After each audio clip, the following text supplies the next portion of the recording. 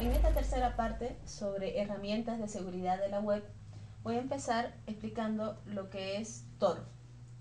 Para empezar, Tor, eh, dentro de la extensa variedad de servicios que ofrece conexiones de redes anónimas, aparece Tor, que es en inglés significa, eh, en inglés eh, sus palabras son The Onion Router, como un software que utiliza el encadenamiento de los mensajes sin revelar la identidad del usuario, vale decir su dirección IP. Además mantiene el secreto y la seguridad de la información que viaja por ella. Sin embargo, no, esto, no hace eh, eh, esto hace, por un lado, difícil que softwares encuentren nuestro IP. Hace difícil, pero no imposible. Porque una vez instalado el Tor, que luego les voy a explicar cómo instalarlo paso a paso, pero si ustedes no tienen la precaución de primero eliminar sus cookies y luego eh, borrar el historial, es posible que, los, los, lleguen a encontrar. O sea, no es 100% fiable, pero hay que tener siempre sus precauciones a la hora de utilizarlo. Entonces, eh, siguiendo con la explicación de Tor, les puedo decir que eh, Tor hace difícil nuevamente la labor de programas que intentan censurar o vigilar el acceso a cierto tipo de contenido que se publica en Internet. Para descargar este programa, ustedes lo que tienen que hacer es ir a la dirección que está dentro de este slides, que es www.torproject.org y ustedes ejecutan el paquete de navegador dependiendo de, de cuál navegador utilicen. Deben asegurarse también que eh, antes de eso primero Tor les va a presentar una opción para los tres sistemas operativos. Windows, para Linux y para Mac. Ustedes ya ahí eh, escogen si quieren en idioma español o en inglés o en cualquier otro idioma aparte de eso. Luego de que lo descargan, no tienen que hacerlo correr automáticamente. Lo que tienen que hacer es verificar si se tiene la versión correcta. Para ello, eh, para ello, antes de verificar la versión correcta, eh, tienen que entender que el software que usted recibe está acompañado de un archivo con el mismo nombre del paquete y la extensión es ASC.asc. Este archivo permite verificar esta parte previa, ¿no? que es verificar la versión correcta. Entonces, antes de que pueda verificar la firma, tendrá que descargar o instalar un programa que se llama GNUPG y las direcciones están para cualquiera de los tres sistemas operativos, están dentro del documento que les voy a presentar sobre este curso.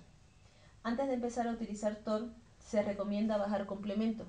Estos complementos van a estar dentro de los navegadores que usted más utilice, ya sea eh, Firefox o Google Chrome.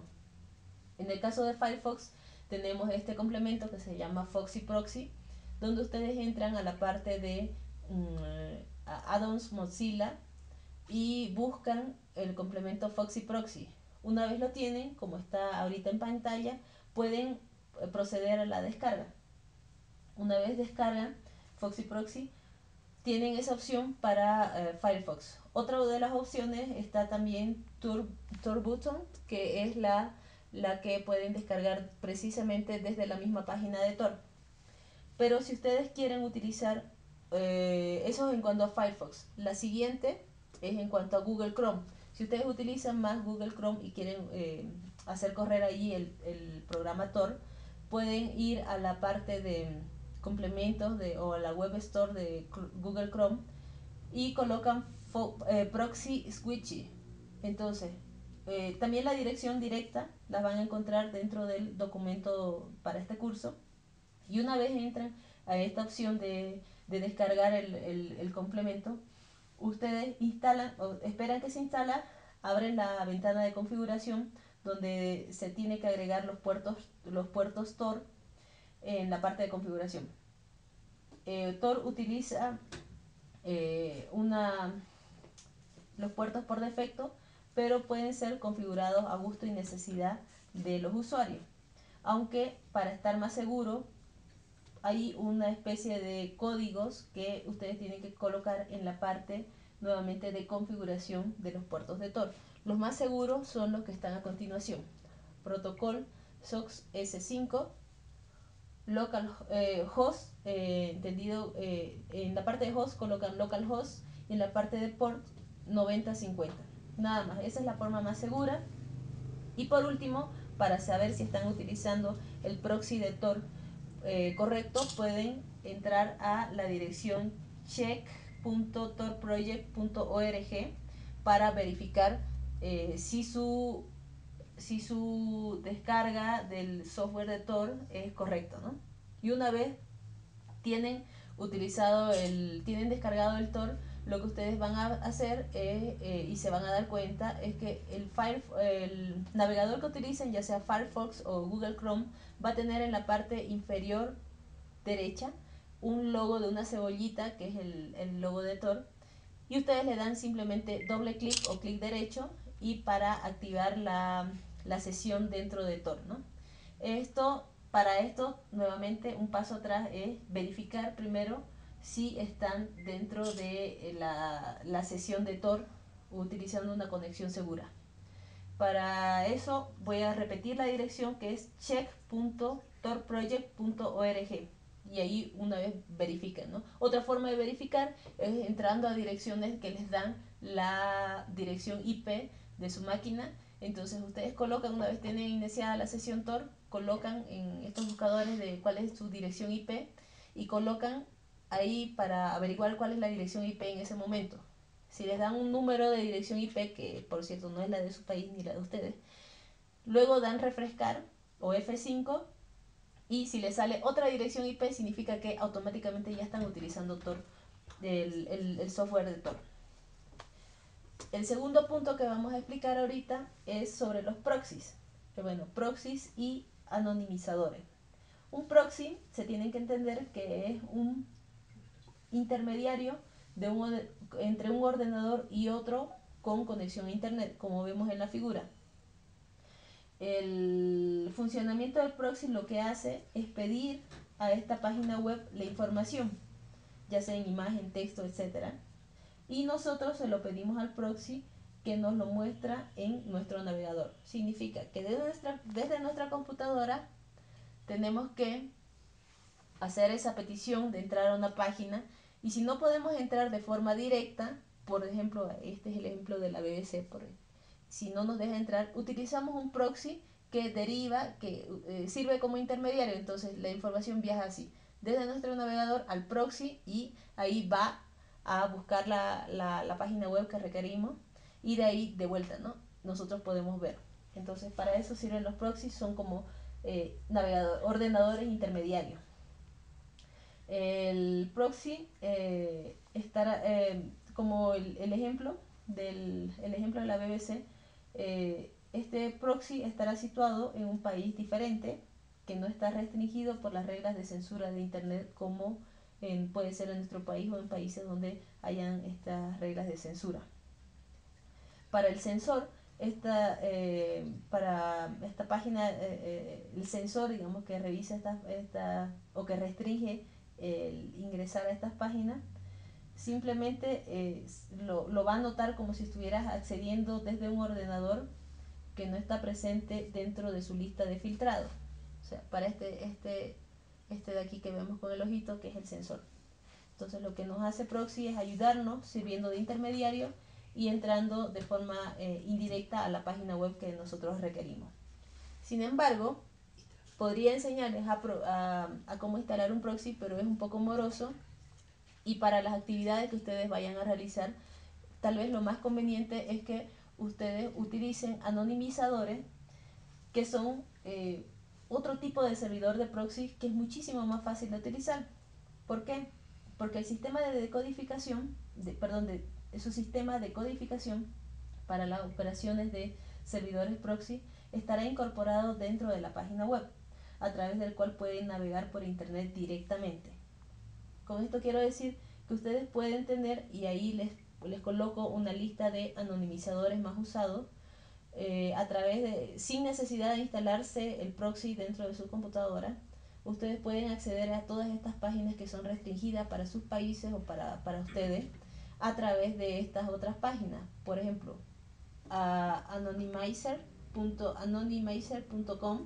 Ustedes entran ahí, colocan la dirección de la página que no pueden ver, ya sea videos, lo que sea, o cualquier página que esté restringida para Bolivia o el resto de los países.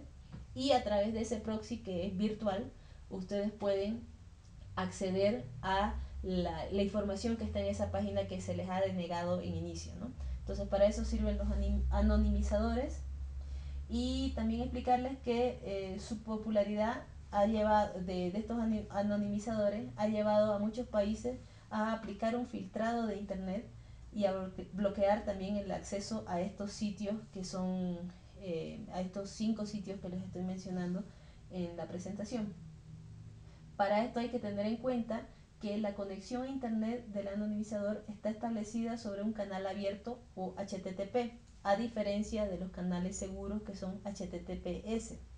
Los datos enviados y recibidos a través de este servicio no están protegidos por vigilancia. Por lo tanto, aquí se les deja cinco direcciones de anonimizadores que, como su nombre lo indica, pueden hacer anónimas sus navegaciones por Internet.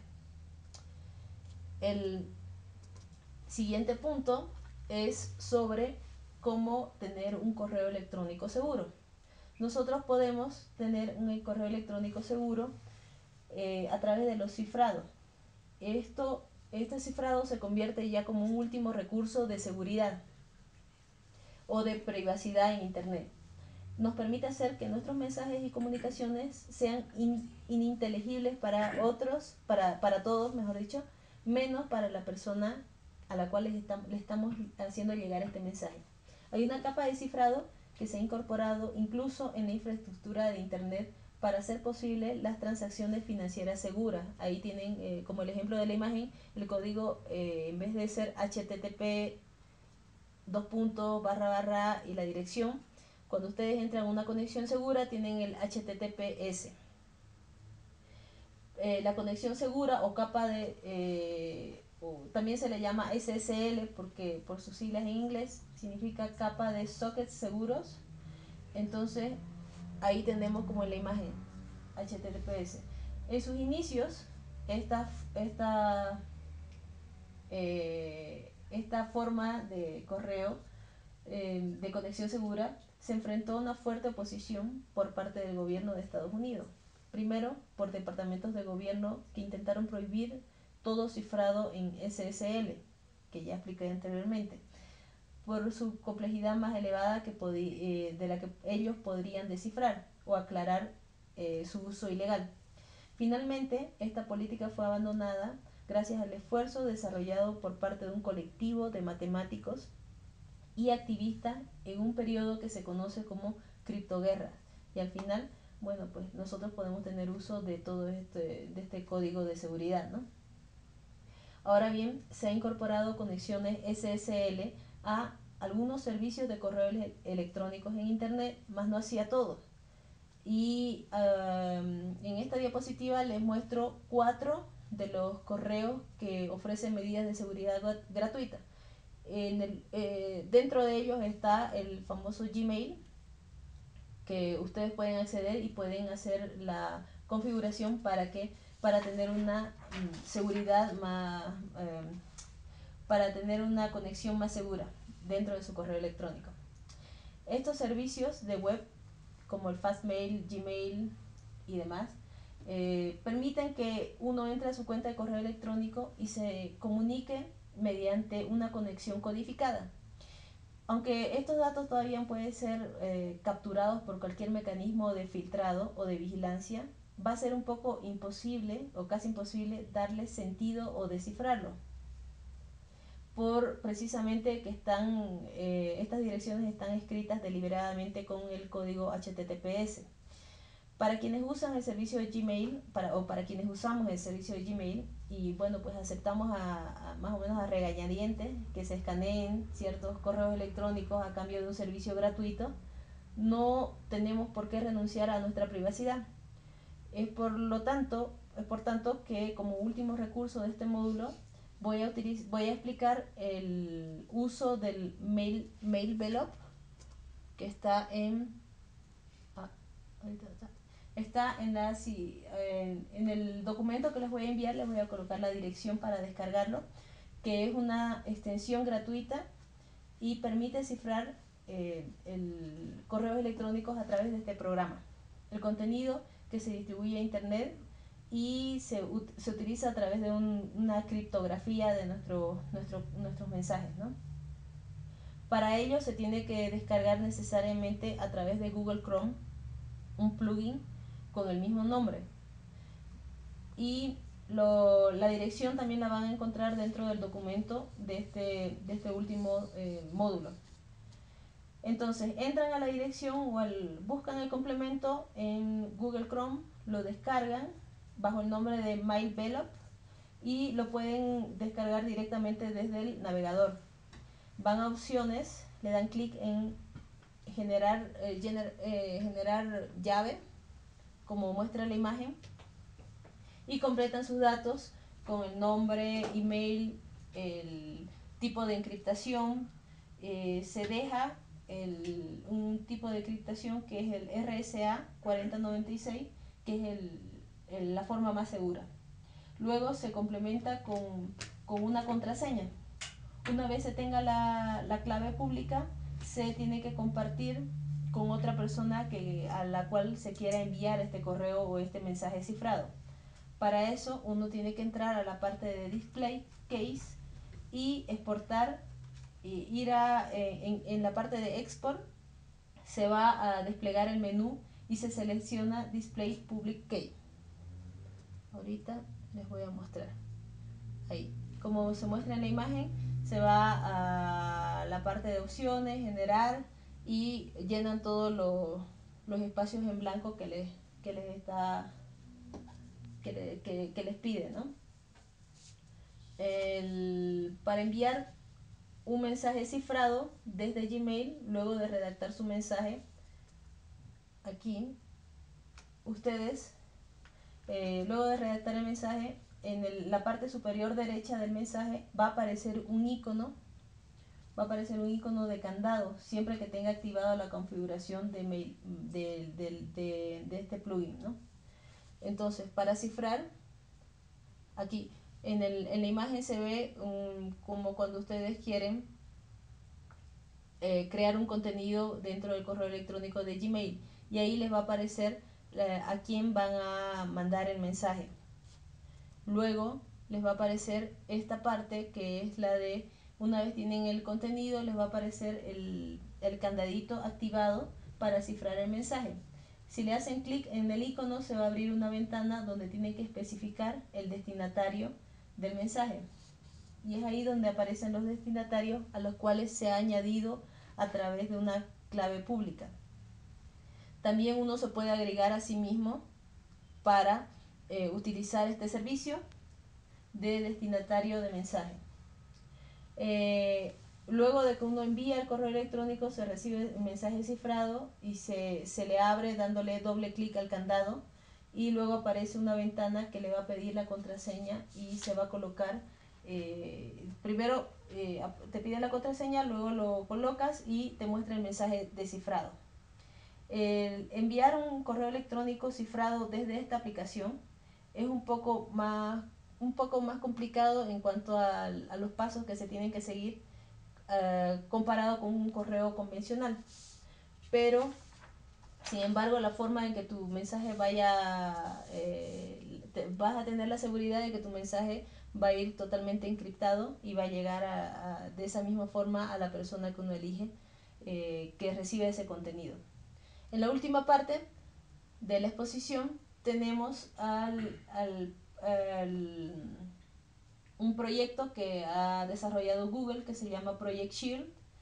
Y en esta parte eh, simplemente comunicarles que hace unos días salió la noticia de que esta herramienta está destinada específicamente a activistas políticos y a ONGs que buscan eh, evadir la censura de Internet por parte de eh, regímenes opresivos.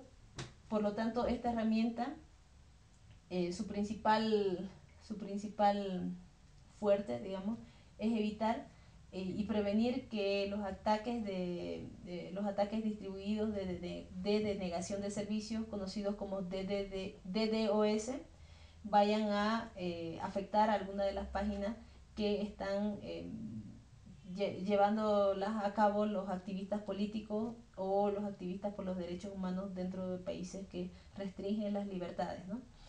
Em, esta herramienta sirve para ayudar a estas personas que quieren mantener sus páginas web eh, visibles. Por lo tanto, Google ofrece este servicio de mitigación de, este, de, de ataques DDoS a sitios que informen específicamente sobre medios, elecciones y contenidos relacionados con derechos humanos. Si alguien tiene una página y tiene miedo eh, que toque estos tres temas y tiene miedo de que le puedan bajar la página a través de estos ataques de DOS, Project Shield les va a ayudar si están enmarcados dentro de estos tres dentro de estos tres conceptos, ¿no? que son si están dentro de medios de, medios de información, elecciones o contenidos relacionados a derechos humanos. Para suscribirse o suscribir tu página y que Google en cierta forma los proteja, tienen que entrar a la dirección de Project Shield, whitegoogle.com. Y bueno, también la van a tener la dirección dentro del, del documento de este módulo. Pero además, esta herramienta de Project Shield de Google eh, también al mismo tiempo lanza un mapa que registra todos los tipos de ataques que se generan alrededor del mundo, los ataques de DOS que se generan alrededor del mundo. Y un proyecto aún que está en, en estado beta, que se llama uProxy, es el que sirve para ingresar libremente a Internet en países donde está parcialmente bloqueado utilizando un servicio similar al de Tor, pero todavía no es un servicio anónimo. Entonces, eso sería en cuanto a la parte de herramientas de seguridad para, la, para utilizar dentro de la red. Hemos estado hablando sobre Tor, sobre los proxies, sobre los anonimizadores, el correo electrónico seguro a través del cifrado y por último sobre el Project Shield. Con esto concluye el MOOC sobre derechos digitales para periodistas y ciudadanos. Eh, decirles que ha sido muy grato compartir con ustedes el contenido, empezando por la arquitectura del Internet, el periodismo digital y criptoperiodismo, el derecho informático y esta última parte que es, el de, que es la de derechos humanos en Internet. Eh, realmente ha sido un gusto compartir con todos ustedes, eh, los asistentes al curso, y simplemente esperar la interacción después de que escuchen esta grabación. Muchísimas gracias.